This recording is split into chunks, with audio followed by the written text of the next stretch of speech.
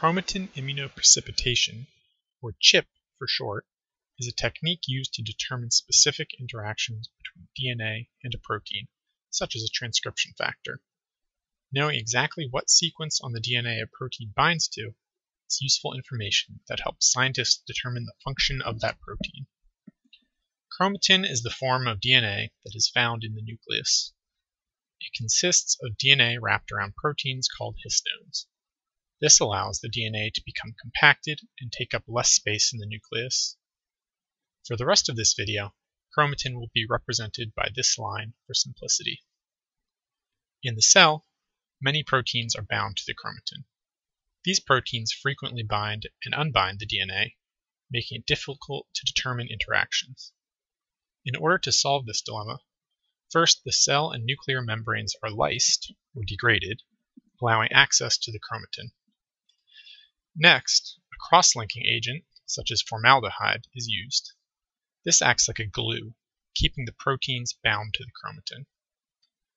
Once the cross-linking is complete, the chromatin must be cut into smaller fragments between 300 and 1000 base pairs in length. The methods used to analyze the DNA after CHIP will need shorter sequence lengths. Now, there are numerous DNA fragments with different proteins attached. However, in order to determine the DNA binding location for a particular protein, that protein and its bound DNA segment must be separated from the others. This is where the immunoprecipitation part of CHIP comes in. Antibodies that bind only to the protein of interest are added to the solution. These antibodies are in turn attached to dense beads.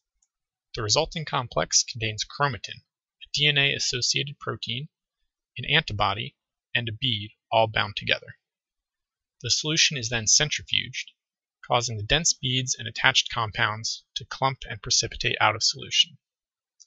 The remaining solution can then be removed, leaving only the protein of interest and associated complex. The final step involves separating out the components to isolate DNA so that the specific binding location of the protein of interest can be determined.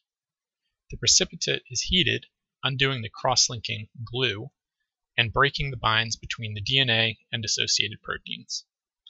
This includes both the protein of interest and histones in the chromatin.